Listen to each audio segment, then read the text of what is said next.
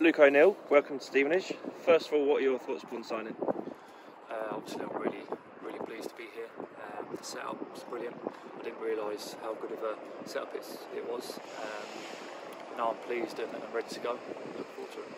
And over the last few years, you've had spells at Southend, Gilling, um, Gillingham, Wimbledon. Um, what was it about Stevenage that made you want to join, or was it the conversations with the manager? Yeah, I think um, the manager was was up there. I think um, he wanted me to come in, and when when you get that from a manager, um, it's good to know that you can go in and, and, and play your yours your football. Um, I was without a club. I left Wimbledon in the summer. Um, and, you know, I've been keeping fit, playing games, and, and I'm ready to go now. And obviously, you've had those clubs. So any of those, I mean, your new teammates, did you know before? I know you were at Gillingham with Elliott List. Is there anyone else?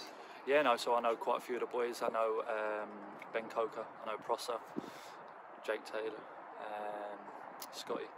So I know a few of the boys and um, I played against a few of the other boys as well. So it's always nice to come into a club knowing a few of the few of the faces and, um, and get mixed in with the boys. And you come to Stevenage with Stevenage looking for a positive second half of the season. Um, how confident are you that we'll be able to do that and you'll be able to have a positive positive effect on the team? Yeah, from what I've seen in training, it's, it's been really good. The boys uh, seem a really good bunch of, of lads, and um, the standards been really good. So I can't see why um, can't push on now and, and, and have a good second half to the season.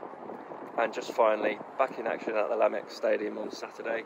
Um, how are you feeling? Are you fit and well? And how much are you looking forward to playing in front of those supporters? Yeah, no, I can't wait. Like I said, um, it'll be nice to meet the fans, and uh, yeah,